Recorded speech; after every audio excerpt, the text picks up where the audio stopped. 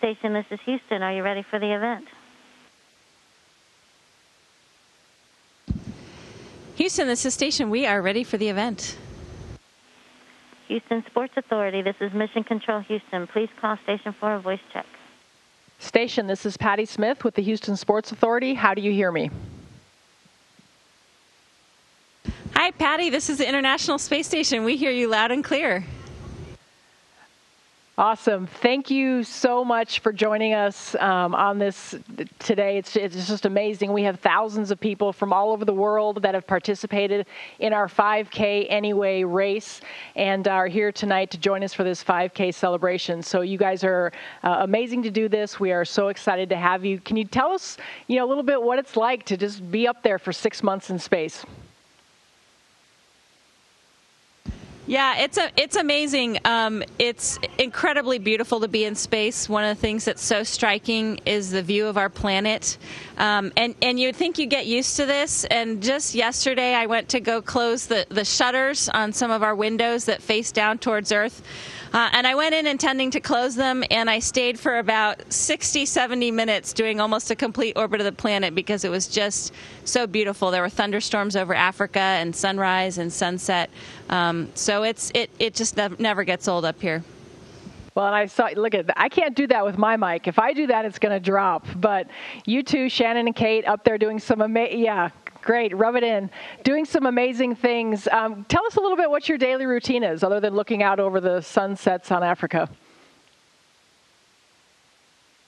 Yeah, you know, um, there's really no routine day up here, I would say, other than getting up in the morning. Um, after we get up, we have check ins with all the control centers around the world. There's about five different control centers. We check in with them, and then we start our day. Now, the day could be a day filled of maintenance, it could be a day filled with science, or it could be preparation for and conducting spacewalks. So it really just depends on what the priorities of the ground are at the time and how uh, everything is scheduled for us.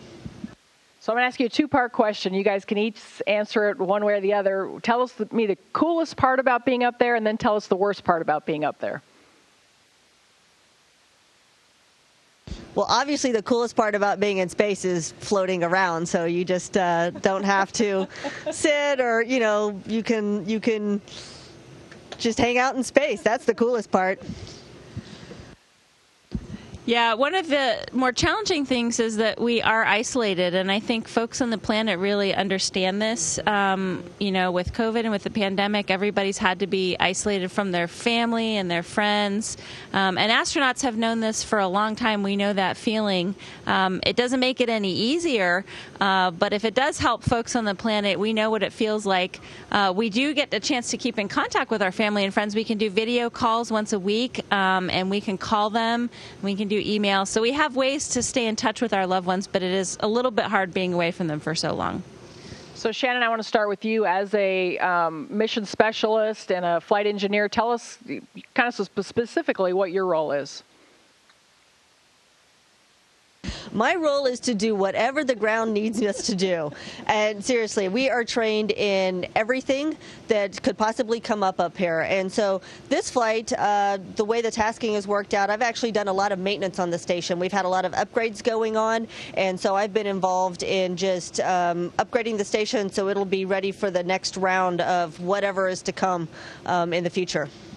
And Kate, I talked a little bit about in the intro about you being the first to sequence DNA in space. For those people that might not know exactly what that means, can you kind of give us an overview? What is that exactly? Yeah, so this is one of the scientific experiments up here. This started in 2016 on my last mission, and we've continued it up here. Um, so, so DNA is what's in every human cell, and it makes us who we are. Uh, we've never, we hadn't sequenced it in space before 2016. Uh, part of that was just a proof of principle to see if that kind of technology would work up here. We didn't know if it would. There's a lot of variables in microgravity, um, but now that it's working, we can use this to to determine things like what's going on with gene expression in humans, as we're in this very strange environment of microgravity, or we can use it to do things like detect microbes inside the space station. So we just did a complete map, 800 samples uh, in the International Space Station. We're going to be looking at mapping all of the living non human things inside the International Space Station. DNA sequencing technology is one way that we do that. You know, being the first to do anything is um, is monumental and a huge deal. But what does that mean to you to be the first? Well, I was kind of the hands on this experiment, um, but really it was the entire team. Uh, there's a whole group of people that worked years to get this technology ready to fly. Um, they have to do a lot of integration to figure out how it's going to work in this closed environment.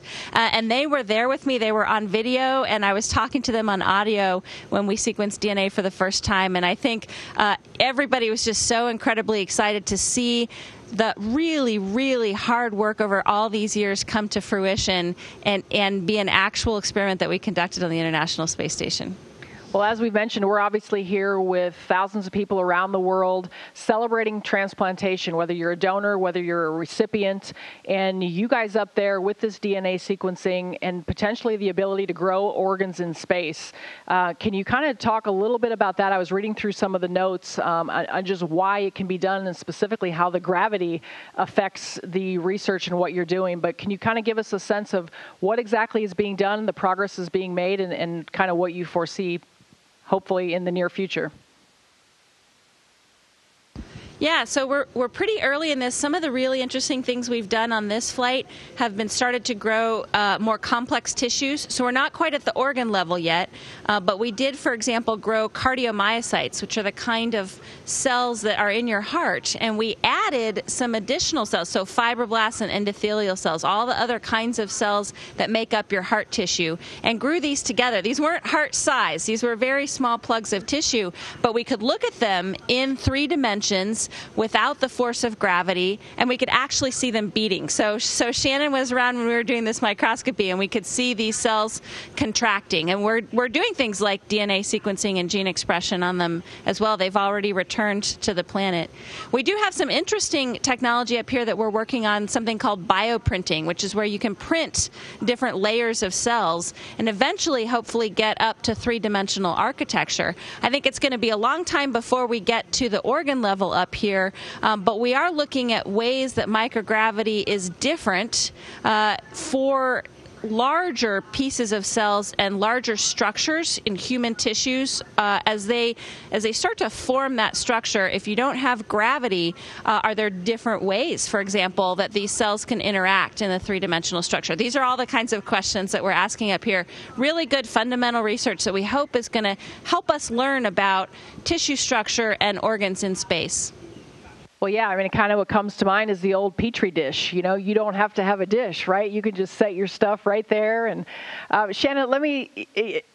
Exactly. Uh, let me ask you this. You've won numerous awards for some of the different things you've done in, in group achievements and things like that. And obviously, uh, this, this takes a team. Can you talk about how important the teamwork is up there in not just this, but really in everything you guys do?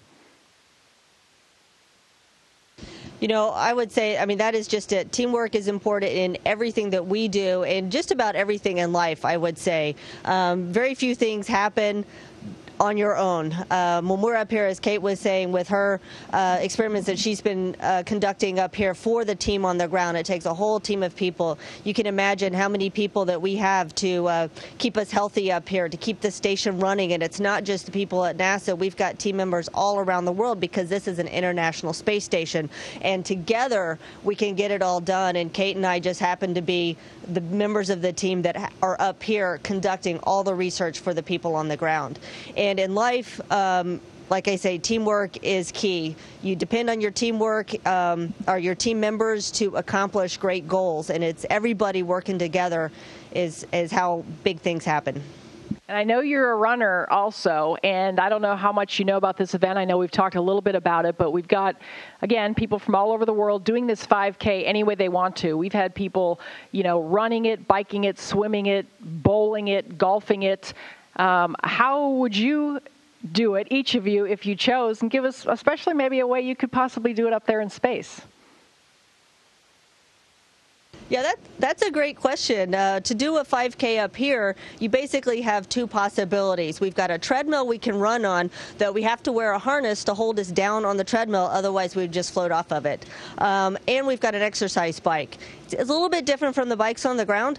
Um, our feet do clip into pedals like uh, many bikes have on the ground, but we don't have a seat, so we're just clipped in and we can ride. And so those are the two possibilities. If we tried to swim, we wouldn't actually go anywhere. So swimming's not so much an option, but biking or running is what we can do up here.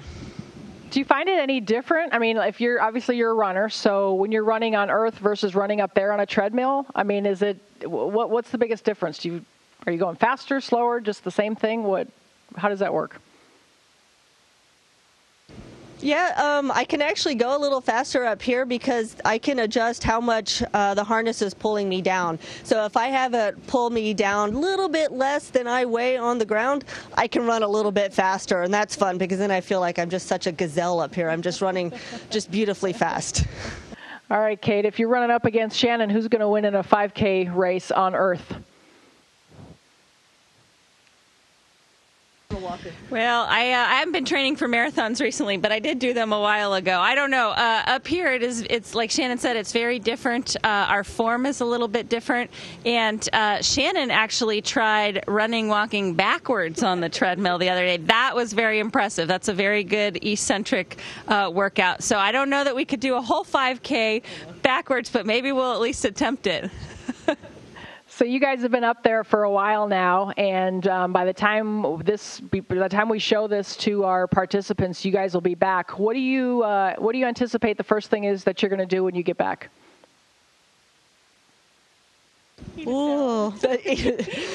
Kate says, eat a salad. I, I, think I'm with her on that. Eat a salad. Uh, eat some fresh food uh, that we don't have access to up here. I think also for me, take things a little bit slower. Our days up here are so incredibly busy. And so, since it hopefully will still be springtime when we get home, I'm looking forward to sitting outside in the sunshine and just relaxing a little bit. Kate? Same for you? What, what's the first thing you're going to do when you get back? Yeah, Shannon's got some really good ideas. Uh, so I, you know, I think we're gonna uh, enjoy being on the planet. It is a little tough when we get back. Things like uh, walking are hard. We've got to do a lot of rehabilitation. Um, so taking it slow is a good idea, and uh, you know, just enjoying the incredible experience that we've had up here. Getting a chance to talk about the mission with our family and friends, uh, show them photos until they say enough, enough. and uh, and just really enjoy all the things that our planet has to offer. I think being out outside in nature is definitely on my plan. All right, so this is a question that I always think of whenever I think about you guys up there. And as cool as this is, it, it's amazing, but I don't think you could pay me enough money to go up there because I'm claustrophobic. Does claustrophobia kick in at all for either one of you? I would say no. The station is actually a pretty big place. You can see the the size of space that we're in here, and this is just one tiny corner of the space station. So it's pretty big. We got lots of room. Uh, no claustrophobia. All right. Well, we are so grateful to have you on here. Uh, again, all our participants, So this was a real treat for them. I know it means a lot to them. They've worked very hard uh, to accomplish what they've accomplished. So thank you both. And um, I don't know, is there anything you'd like to shout out to all the people that are watching you on this, uh, on this Zoom event today? Oh, we just want to give our best wishes to everyone. What you're doing is incredible, and we really salute your efforts in everything that you do. All right. Thank you both so much for joining us, and uh, good luck. And we look forward to seeing you walking with nice, stern, steady legs back here on Earth real soon. Thank you.